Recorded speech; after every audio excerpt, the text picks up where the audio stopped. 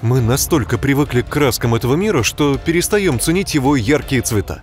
Но попробуйте представить, что самый распространенный в природе цвет неожиданно исчез.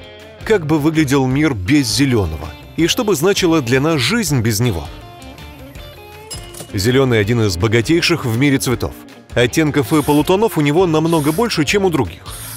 Кроме того, зеленый обладает самым широким диапазоном смыслов и значений. Если смешать его с ярко-желтым, получится свежий и сочный оттенок, но смешайте зеленый с бледно-желтым и капелькой коричневого, и он будет выглядеть болезненно и тревожно.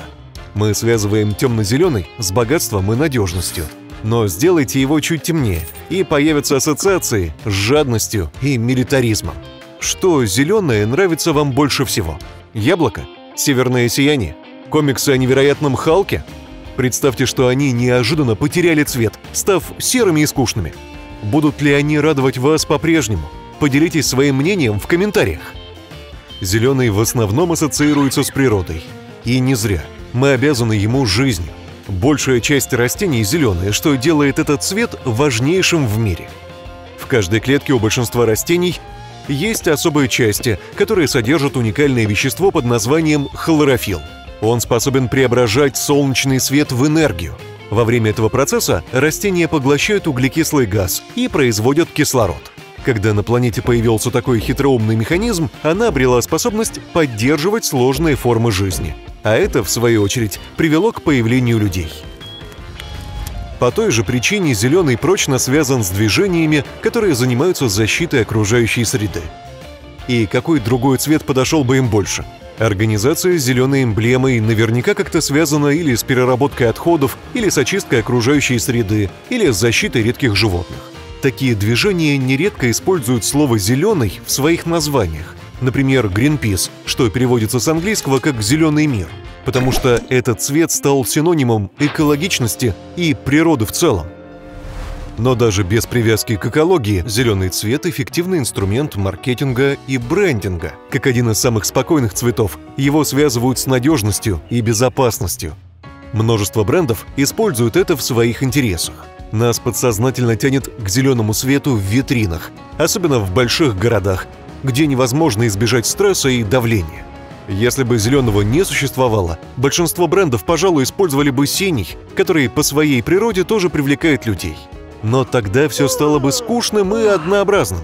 В конце концов, недаром зеленый – это цвет доллара. Зеленый цвет для американских банкнот был выбран не только потому, что в XIX веке этот пигмент был недорогим и легкодоступным, но еще и для того, чтобы подчеркнуть надежность доллара как валюты. Но главной причиной для использования зеленого стало то, что раньше подделать деньги можно было просто сделав фото – Однако фотография была черно-белой и не могла передать зеленый цвет. В наши дни фальсификация – это намного более сложный процесс. Но зеленый пигмент, используемый в долларах, оказался долговечнее других. Он просто не изнашивается со временем. И все же я думаю, что доллар стал зеленым прежде всего из-за символического значения этого цвета. Интересно, стала ли связь между зеленым цветом и деньгами одной из причин, по которым зеленый считают цветом удачи? Вы же слышали сказки о четырехлистном клевере и крошечном человечке в зеленом наряде. Говорят, лепрекон может сделать вас сказочно богатым, если вы его поймаете. Эти истории пришли с изумрудного острова, больше известного как Ирландия, и прижились во многих западных культурах. А теперь представьте, что лепрекон носил бы золотой пиджак и шляпу вместо зеленых. Он стал бы безвкусной звездой диска, а не символом удачи. Другим традициям, которые мы знаем и любим, тоже не избежать потерь. Какие цвета символизируют Рождество? Вы наверняка в курсе. Конечно же, белый, красный и зеленый. И хотя зеленый играет тут не такую большую роль, как красный и белый, без него другие цвета смотрелись бы менее свежо и радостно. Красный традиционно связан с радостью, сильными чувствами и приливом крови в моменты особого волнения – а зеленый несет ощущение нового начала, мира и спокойствия, что идеально уравновешивает красный во всеми любимое время года. Теперь вам понятно, насколько зеленый важен в дизайне как таковом. Темно-зеленый автомобиль выглядит респектабельно и роскошно, а ярко-зеленый указывает на креативность и молодость владельца. То же касается дизайна интерьера. При таком разнообразии оттенков зеленого можно задать любое настроение практически любой комнате, от домашнего кабинета до детской. Но зеленого часто избегают в офисных зданиях. И вот почему. Большинство указателей экстренного выхода по всему миру делают зелеными. Без этого цвета они были бы не так эффективны. Вы знаете, пожары в офисных зданиях распространяются очень быстро.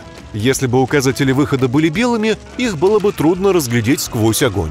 Зеленый видно намного лучше, поскольку он контрастирует с большинством цветов. Зеленый неразрывно связан с безопасностью. Ведь еще до начальной школы мы учимся переходить дорогу только на зеленый. Если бы зеленый пропал, скорее всего, на светофоре его заменил бы синий, но тогда бы возникло недопонимание. Ведь словосочетание «зеленый свет» давно стало синонимом для разрешения двигаться или что-то начинать. Аптеки всего мира предпочитают заявлять о себе с помощью яркого зеленого креста. Это помогает заметить аптеку в любое время дня и ночи.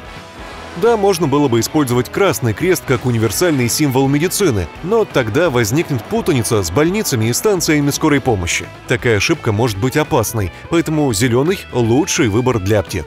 А еще считается, что зеленый цвет сам по себе обладает целебными свойствами. По иронии судьбы, тот же цвет связан с плохим самочувствием. Вы же слышали фразу «позеленел от зависти». Зеленоватый оттенок лица дает понять, что человеку нехорошо. А еще этот цвет предупреждает об опасности. Представьте, что вы нашли старый ломтик хлеба или сыра и заметили на нем что-то зеленое. Это верный знак, что продукт испорчен и ему место в урне. Зеленый также имеет сакральное значение в традиционных духовных практиках, тесно связанных с медициной и самосовершенствованием. Возьмем, к примеру, йогу. Согласно этому учению, зеленый – цвет сердечной чакры, связующего звена между высшими чакрами, которые основаны на духовных нуждах, и низшими, которые представляют естественные потребности, неизбежные для человеческой натуры.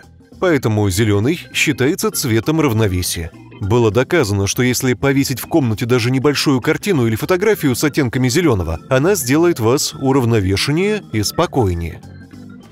В общем, помните лягушонка Кермита из Muppet Show, который пел «Как трудно быть зеленым». Он прав, но без зеленого было бы еще труднее.